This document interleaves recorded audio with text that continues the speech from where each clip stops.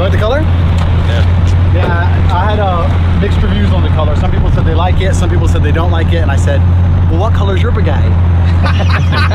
oh, fuck off then.